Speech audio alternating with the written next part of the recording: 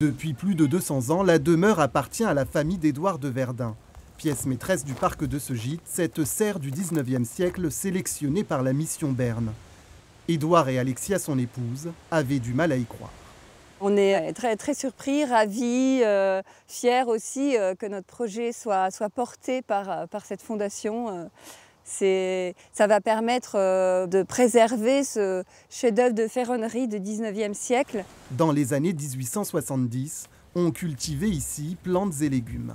C'est une Guyot Pelletier qui a été fabriquée à Orléans avec une, une ferronnerie assez remarquable Rongée par la rouille, barreaux brisés ou dessoudés, la serre horticole du château est aujourd'hui en péril. Son propriétaire Édouard ne l'a jamais connue en état de fonctionnement. Quand j'étais petit, euh, il y avait encore quelques carreaux qui subsistaient.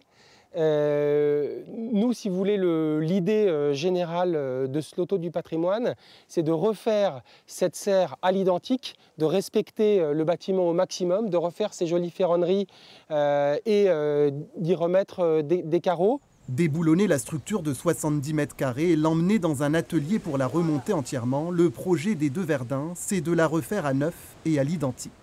Coût total des travaux 90 000 euros, ferronnerie, vitrerie et maçonnerie comprises. À terme, la serre servira à la production agricole, mais aussi comme lieu de réception.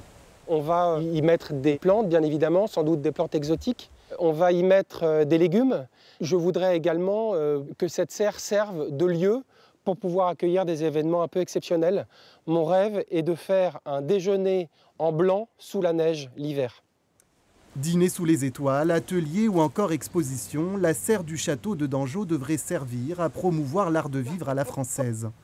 Le couple ignore encore le montant du financement qu'il touchera grâce au loto du patrimoine, mais espère la rénover avant la fin de l'année prochaine.